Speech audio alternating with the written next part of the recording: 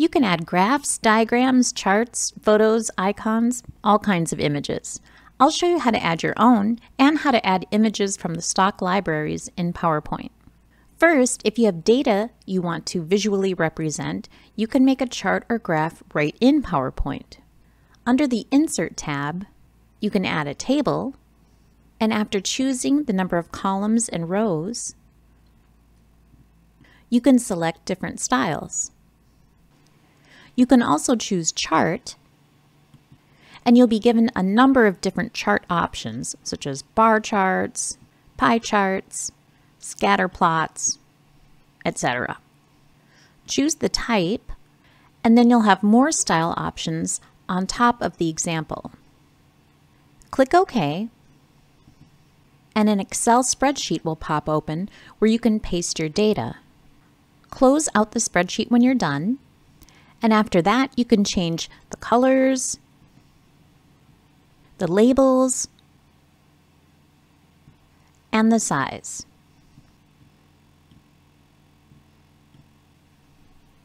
Use the buttons to the right of your chart to explore your options. If you've already created an image or a chart in a different program and it's in a JPEG or PNG format, you can go to Insert, select the Pictures drop-down, choose the location of your image, and pop it in.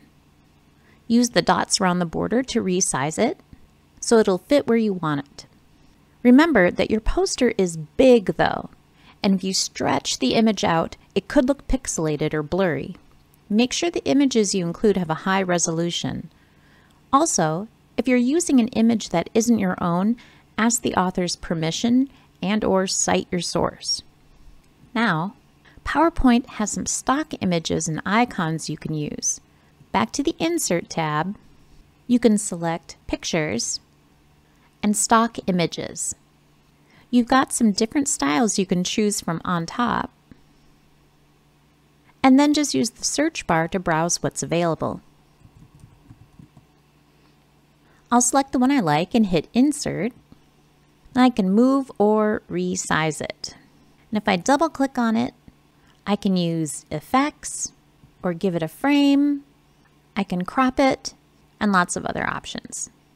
Again, play around with the tools available and see what you come up with. Images, graphs, and icons aren't required elements for your research poster, but they add a nice touch.